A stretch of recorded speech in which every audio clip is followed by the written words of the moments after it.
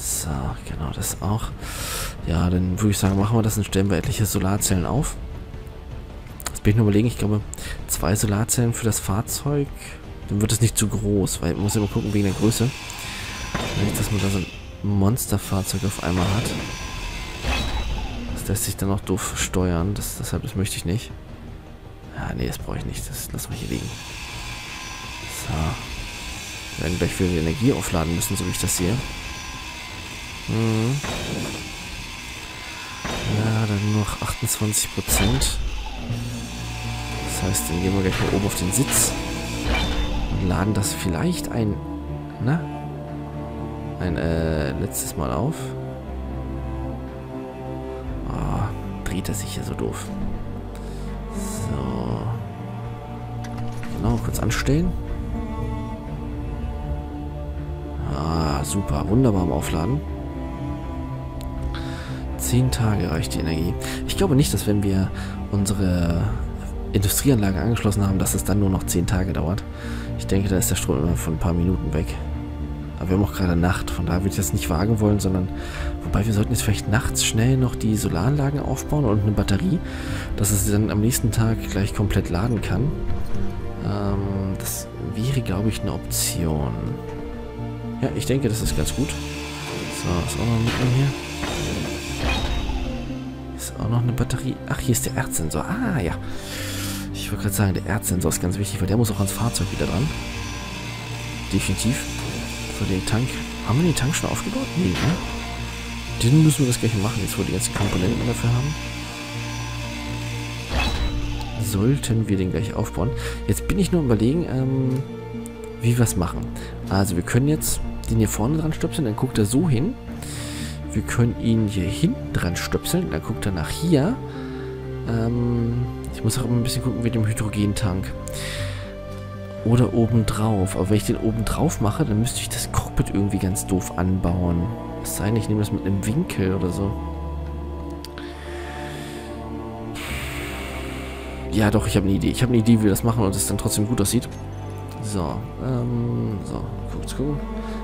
Sauerstofftank, genau. Hier ist es Sauerstofffarm, ne? Pff, keine Ahnung. Ich glaube, die funktioniert mit Solarzellen. Weil wir haben ja hier nur oben und unten einen Anschluss. Das heißt, müssen wir dann so drauf sitzen. So, und den haben wir dann auch gleich fertig. Ach, sehr schön. Denn was man nämlich beachten muss, wenn man so ein Cockpit baut, dann braucht man einen Solaranschluss, also braucht man äh, Sauerstoff. Denn ansonsten erstickt man in diesem Cockpit. Ja, das habe ich auch nicht gewusst. Selbst wenn man hier rumfährt und man hat keinen Helm auf, in diesem Cockpit, ähm, ohne Helm kommst du da drinnen um. Ja, ja, das ist echt gut. Beziehungsweise, ähm, wenn das Ding halt keinen Sauerstoff produziert. Das ist echt krass. So, dann brauche ich jetzt... Ähm, halt, warte, warte, warte. Erstmal gucken. Wir nehmen das Cockpit. Genau. Kann ich das da anbringen? Sehr gut. So, das würde ich da anbringen. Und damit es den Sauerstoff bekommt, brauche ich so einen Winkel. Genau, so ein Element. So, richtig, genau. So. Dann versorgt es uns nämlich dann mit allem, was wir brauchen. Ach, Motor, siehst du? Motor brauchen wir. Schweben wir es kurz hoch, schauen, was der hier noch braucht. Auch Motor, alles mögliche. Da können wir gleich mal direkt hier hinschweben. Nehmen wir die Platte weg. Und dann mache ich den Sitz platt und dann äh, passt sich das. So, ciao, ciao. Dann haben wir eigentlich alle Komponenten, die wir fürs Cockpit brauchen. Das ist echt ganz gut, dass sich das von den Komponenten her ähnlich ist. Dass wenn ich das abbaue, einfach ein Cockpit auch draus machen kann. Mehr oder weniger. Also dass jetzt 1 zu 1 die Ressourcen sind, da möchte ich mir jetzt nicht so hundertprozentig drauf festlegen. Aber, nee, Anzeige. Es ist Anzeige fehlt. Motor fehlt. Gibt's das denn? So. Dann holen wir nochmal die Sachen, die erforderlich sind. Ich glaube, unten haben wir einen Motor drin. Hm. Warte mal. So. Wenn ich das jetzt zerlege... Äh, nee, das ist kein Motor. Ich zerlege es trotzdem. Dann ist das nämlich auch weg. Ja, in der Luft ist ja dafür da, dass dann halt der Sauerstoff hier in das Raumschiff gepustet wird, ähm, damit dann halt hier entsprechend man rumlaufen kann, auch ohne Helm. So, dann haben wir einen Motor, sehr gut. Ich mache das nicht komplett weg, weil sonst würde das, glaube ich, abfallen. Mhm. Und das möchte ich nicht. Nicht, dass der kaputt geht und Reaktorkomponenten dabei verloren gehen. Das wäre richtig bitter. So. So, kurz fertig machen. Siehst du, sehr gut. Müssen wir wirklich gleich den Generator fertig machen, dass ich äh, auf jeden Fall wieder Energie auftanken kann. Denn das ist ja das Wichtigste. Denn ohne die Energie, haha, war es das. Ja, das sind echt so Sachen, wo du hier mega bei aufpassen musst bei diesem Spiel, weil wenn du einen Baufehler machst und irgendwie das verpasst zu, herzustellen, hast du gleich das Ganze verkackt und hast gar keine Chance mehr. So, und jetzt, ähm, damit wir da rankommen und ich nicht jedes Mal hochschweben muss, machen das kurz so hier. Aber wählen wir eine andere Farbe aus. Ups, was soll das?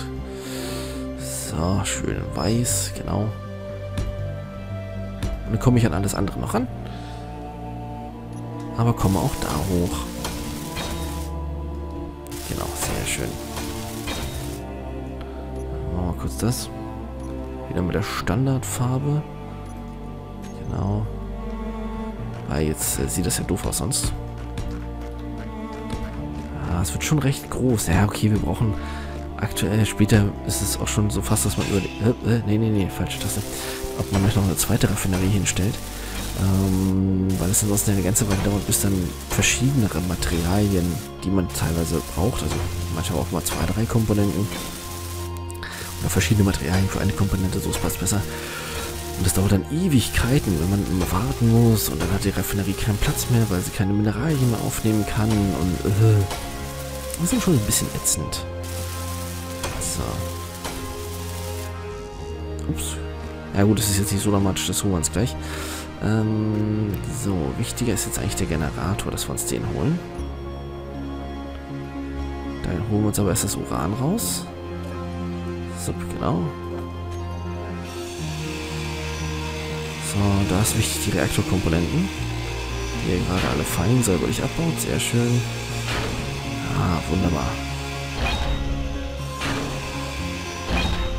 Das haben wir auch weg. Sehr schön, dann können wir nämlich unseren Generator basteln. Mhm. So, dann funktioniert der nämlich auch. Dann werden wir gleich mal gucken, ob der sich dann entsprechend diese ganzen Sachen zieht, weil wenn wir den jetzt anwerfen, ist, ich werde das Uran, glaube ich, noch nicht reinpacken. Also ich könnte das Uran jetzt hier reinlegen, dann müsste er sich das auch nehmen. Wir können mal gucken, ob das funktioniert. Hier haben wir die Raffinerie. Ähm, so, gucken wir mal. Ach nee, stimmt, der braucht ja erstmal Strom. Sonst geht es ja nicht, warte. Ah ja, der, der muss erst laufen, damit er entsprechend... So, Raffinerie, mal gucken. Ja, siehst du, jetzt nimmt sie sich das sogar schon. Und Sauerstoff hier auch produziert, sehr schön. Ja, sehr gut, sehr gut, sehr gut. Jetzt kann ich ja mal in mein Cockpit gucken, wenn ich das hier repariert habe. Genau, sehr schön. Ja, jetzt kriegen wir nämlich dann noch Hydrogen und Energie und alles aufgefüllt und wir sehen 53 Minuten reicht das Ganze aktuell. Ist echt nicht so lang, ne? Nee, nicht so wirklich. Aber wir machen mal eins. Wir stellen den Sauerstoffgenerator aus. So, genau. Denn den brauchen wir aktuell wirklich nicht. Und schubs reicht vier Tage. Ja, denn der verbraucht unheimlich viel Strom. Und ähm, das möchte ich eigentlich nicht, dass der jetzt die ganze Zeit läuft und den ganzen Sauerstoff dann umwandelt, nur um den Tank voll zu machen. Das, das will ich nicht. Lieber ein bisschen warten, dass wir dann entsprechend das Ganze gehen. Jetzt bin ich überlegen, wir müssen das ja verbinden miteinander. Ähm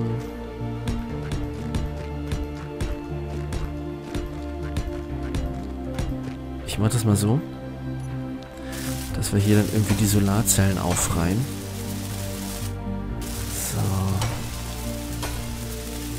das war einfach grausende Bodenplatten, die können einfach grau bleiben. Das ist echt in Ordnung. Schon wieder kein Stahl mehr. Ist das nicht klar gewesen? Ähm, warte mal, hier alles mal wegpacken. Ein bisschen Platz habe. Inventar. So, wir sehen hier, hat er schön das gemacht. Das könnte man jetzt in die Montageanlage packen. Ähm, brauchen wir aber eigentlich gar nicht, weil wie gesagt, der holt sich das ja von alleine, wenn das dann benötigt. Das ist echt gut. Ja. Kannst du nichts sagen. So. Kurz schauen, dass wir das noch fertig kriegen. Ich glaube, Solaranlage machen wir nächstes Mal. Hm, ja, ich glaube schon. Mache ich einfach nur so weit, wie ich hier jetzt komme. Dann denke ich, soll es das auch erstmal gewesen sein. Wir haben schon relativ viel geschafft. Das Schiff geht uns ja nicht verloren. Das ist das Wichtigste.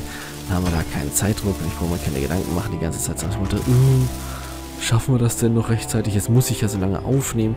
Warte mal, 8. Wenn ich jetzt die 8 drücke, was?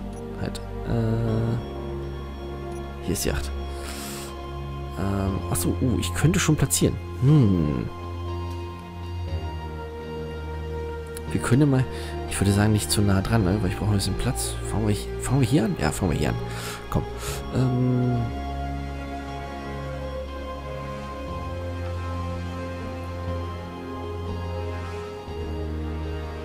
So, genau das hier so hinstellen. Aber er zeigt an Rot. Herstellungskomponenten brauche er. Gut, die können wir ihm geben. Ist nicht so das Ding, ne? Äh, hier. Genau, machen hier eine hin. Hier. Hier und ich sag mal so vier Stück müssten eigentlich reichen für so eine Batterie. Müssten vier Stück genügen. Können wir weiterkommen. Jetzt brauchen wir alles Stahlrohr, Computer und Solarzellen natürlich. Ähm, so.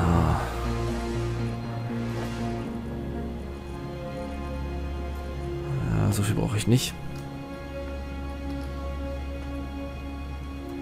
Na, komm schon, los, weg damit. Und hiervon auch, da können, keine Ahnung, 800 weg. so. Hiervon brauchen wir vielleicht 50. Davon brauchen wir ein bisschen mehr und natürlich Solarzellen bis zum Umfallen. Ich glaube, dann haben wir schon fast alles zusammen, was man braucht. Ja, siehst du, haben wir schon alles, was man braucht, um so eine Solarzelle fertig zu machen. Und dann eine Batterie. Sehr schön.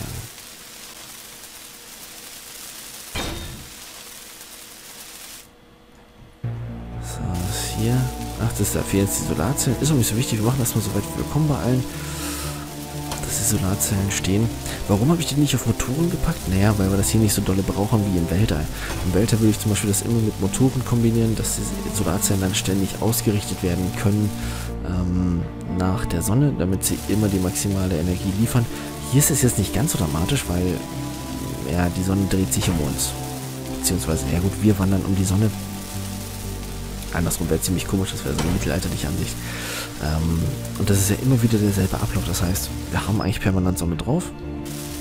Und ich brauche mir da nicht so Gedanken machen. Mhm, das ist ganz angenehm. So, dann brauchen wir wirklich nur Solarzellen. Sehr schön. Ja, viele empfehlen ja, wenn man anfängt, so nach dem Motto, ja, wenn du Survival machst, dann solltest du auf jeden Fall die Montagegeschwindigkeit und alles und hier diese Konstruktionsgeschwindigkeit auch raufsetzen, weil sonst ist das viel zu lang. Ah, nee, finde ich nicht. Also es ist, glaube ich, schon dreimal so schnell, aber ich finde, noch schneller braucht man wirklich nicht. Das, das wäre Schwachsinn. Also, dann macht es auch keinen Spaß, wenn es dann so schnell ist. Also finde ich jetzt persönlich, ne?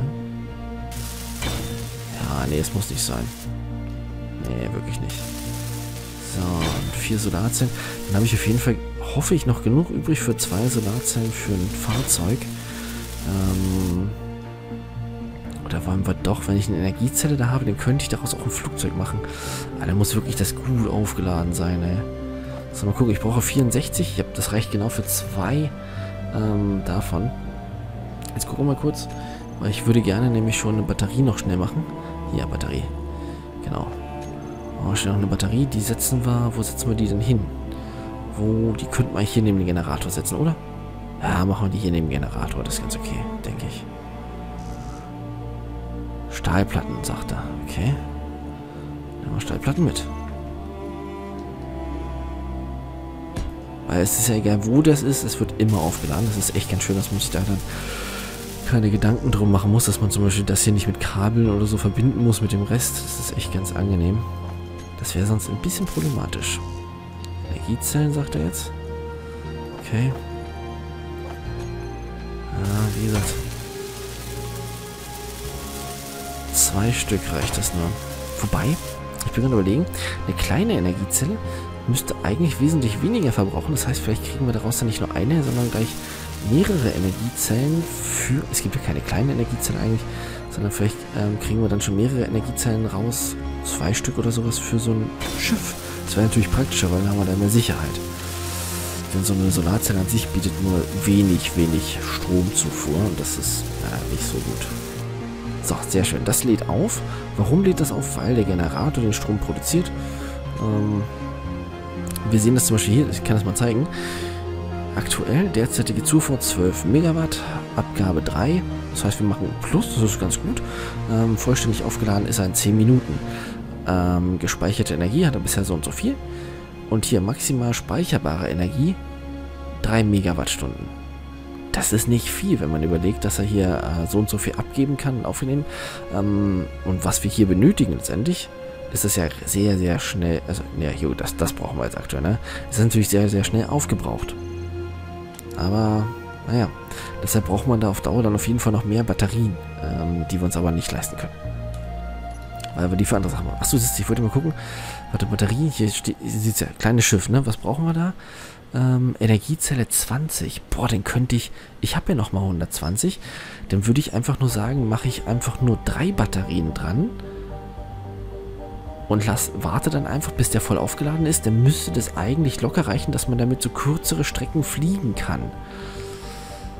Das wäre natürlich ganz praktisch. Ah, wir können das mal testen. Ja, wobei halt testweise ist so eine Sache.